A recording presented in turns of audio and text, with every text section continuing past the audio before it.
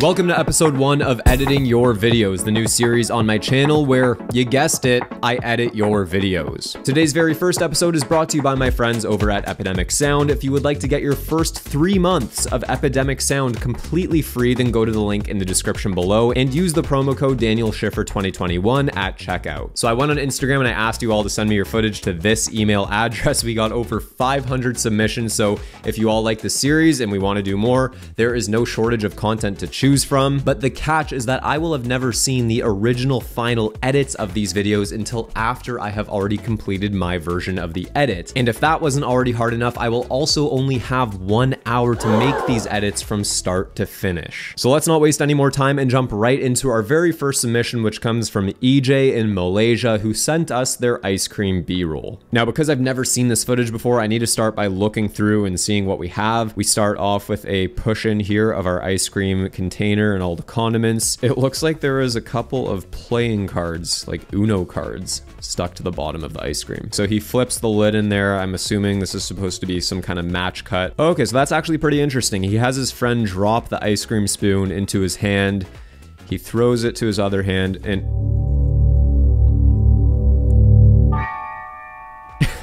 We got the scooping shot next. That looks nice. Then we've got the syrup shots. There's some sprinkles here. Then just kind of finishing off the ice cream. Pretty straightforward. So I need to pick a take from the first shot that I like. I'm going to start the clip around there. He swings it upwards and I'm just going to cut the clip here. Okay, now I'm going to go ahead and slow this down. Now, before I go any further, I'm going to need music because that is what's going to determine the pace of this entire edit. So here in Epidemic Sound, I want to find a song for our ice cream video. When I think of ice cream, I'm thinking of fun and playful. I'm gonna go into genres and I'm gonna start with funk. Let's just have a listen.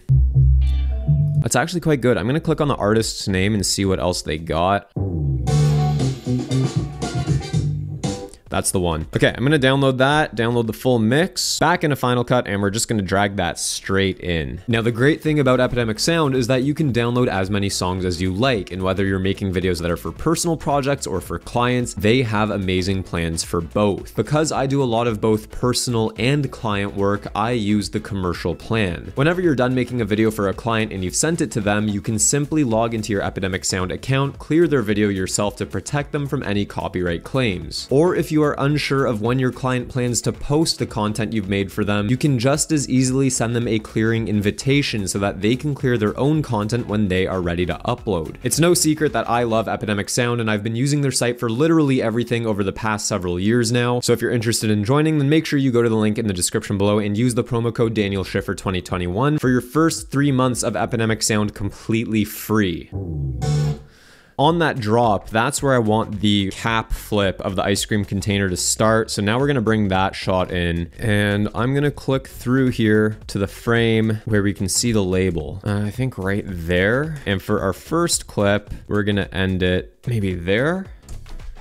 So I'm gonna create a speed ramp by hitting Shift B. I'm gonna speed this up to normal speed. Hey, we'll speed ramp that 20%, set a keyframe there, and then another keyframe around there.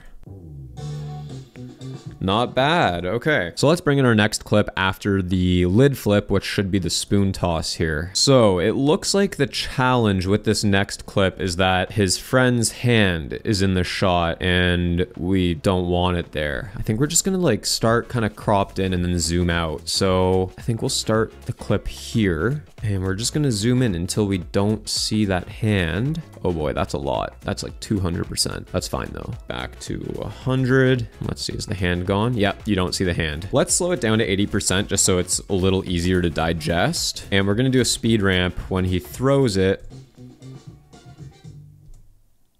What was that? that must have been okay. They must have gotten this individual right here to drop the spoon, and now he's trying to duck out of the frame. Unfortunately, we can see you. All we have to do is some kind of zoom in here. So set a keyframe there and there. We'll cut the clip here. On our last frame, we'll zoom in, I don't even know, 158%? I can live with that. We have our ice cream scoop next, and I don't want too much of the hand in the shot. So I think we'll cut it here. I'm gonna go ahead and slow this down to 80%. I'm gonna stabilize this for sure. Here we have the ice cream dropping in the bowl. You can see we have a twisting movement and then the ice cream drops in. It's a lot of shake right there. There's too much of a delay between the twist and when the ice cream falls. I want twist and fall. I think I'm just going to cut out the twist, grab the part of the clip where the ice cream falls, and make my own twist. Set a keyframe here, and then we'll wait for the ice cream to start falling. That's where we will set another keyframe on our rotation here. I'm gonna try and accentuate this movement by setting a keyframe on our scale when our rotation ends. And then I'm gonna go back to the start, zoom this out a whole bunch because we can, right around there. Oh yeah, Oh, you know what we can do is we can track the ice cream falling. Yep. So on our second keyframe rotation here, we're going to set a keyframe on our position. Then we're going to go to the end frame and just drag that. You know what? I actually kind of like that. On to our next shot, we have the ice cream reveal. Um... Okay, so I'm gonna delete that. I'm a strong believer that in sequences like this, you don't have to hammer home every single action in the video. We already see the ice cream being scooped. We see it being put into the bowl. We don't necessarily need another shot of the ice cream going in, but I'm, I'm content with that. We can get straight into the condiments now. Yeah, again, similar to the ice cream going in the bowl, I don't think we need this many shots of condiments. This is a good shot here where you can see the two bottles because it shows kind of what we're about to do. And then we have a shot of the ice cream here close up with the syrup being drizzled on. And I like that as well. And this actually happens to work perfectly because we have this downward movement now where we track the ice cream going into the bowl. Now we can grab a downward movement of this stuff hitting the table. So we can make a cut right there. I'm gonna slow this down to 40%. What I wanna do now is kind of make these shots flow into each other a little bit better. So I'm gonna go up into my smooth transition layers from Ryan Nangle. going to grab the pan down one and put that here, and then the pan down two and put that there. And this we can adjust. So this isn't tying in completely smooth just yet, but I have an idea. I'm gonna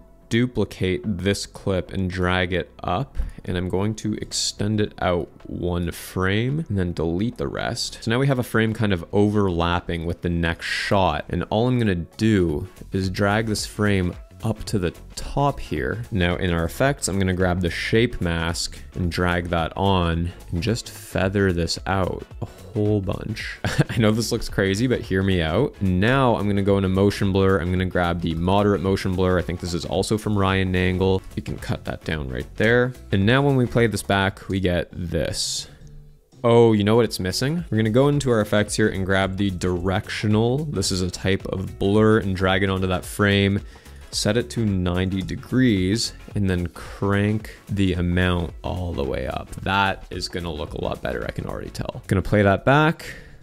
Boom. The ice cream goes down and then we're just straight into the next shot. Love it. And then we're into our next shot here of the syrup going onto the ice cream. I actually really like that shot. Let's slow this down to 40%. I'm just gonna trim it up for now and see what our next shot is. Is he going Salt Bae?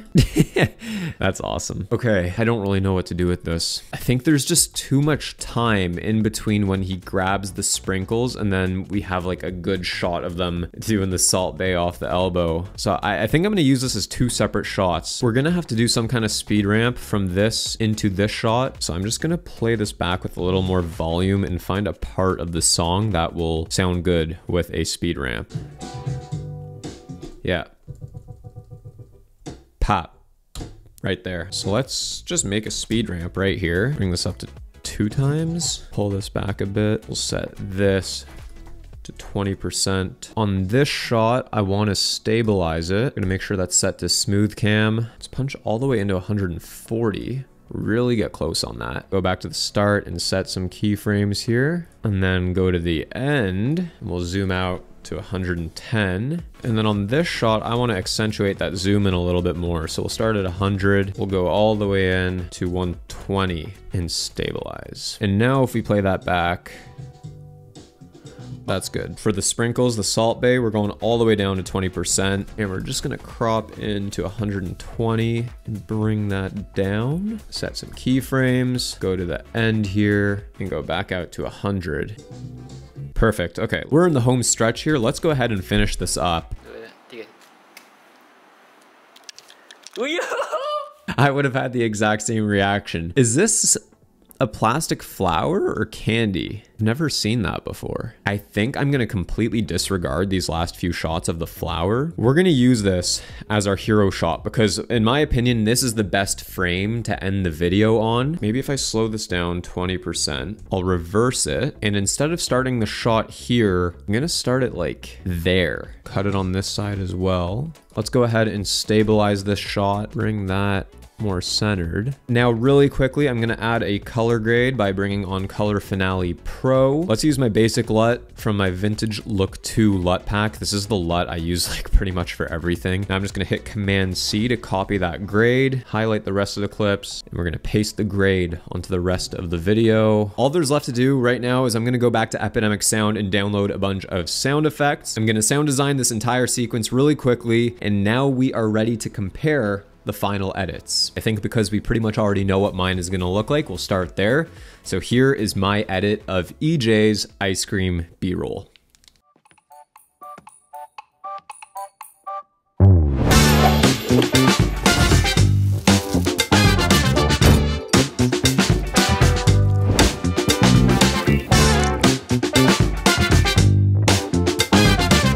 I mean, considering how quickly I had to edit this, I think this is pretty good. It of course helps that this footage is really well shot and well lit, but at this point I am a lot more curious to see EJ's original edit of the ice cream b-roll.